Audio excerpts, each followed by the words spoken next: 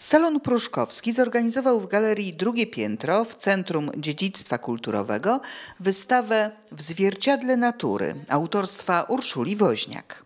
Artystka czerpie inspirację z natury, która towarzyszy jej każdego dnia. Na dzisiejszej wystawie prezentuję obrazy, które powstały na przestrzeni 2023 roku. To są trzy cykle obrazów pod tytułem Doznania, Łąka i Krajobrazy. Mieszkam i maluję w okolicach e, Kampilowskiego Parku Narodowego. Tam często spaceruję i to z natury czerpię największą inspirację. E, Czerpię inspirację ze światła, z kolorytu natury, który widzę i z energii, którą wyczuwam w naturze.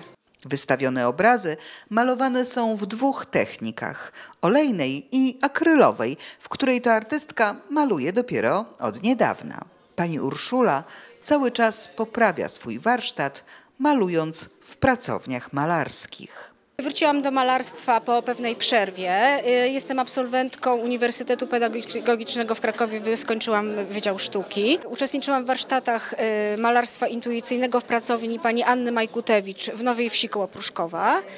I tam właśnie powróciłam do malarstwa, otworzyłam się na malarstwo y, i swoją przygodę z malarstwem kontynuuję w pracowni autorskiej artysty malarza Leona Michna, który swoją pracownię ma w Komorowie. I tam właśnie rozwijam swój warst- warsztat artystyczny, jak również dzielę się swoimi doświadczeniami twórczymi, artystycznymi. Przede wszystkim w moich ostatnich obrazach, właśnie tych, które widzimy, e, to jest e, takie podsumowanie moich dotychczasowych poszukiwań twórczych i artystycznych.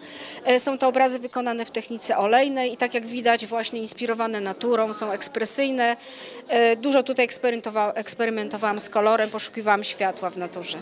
Wystawę można oglądać do 18 kwietnia. Wszystkich Państwa serdecznie zapraszamy.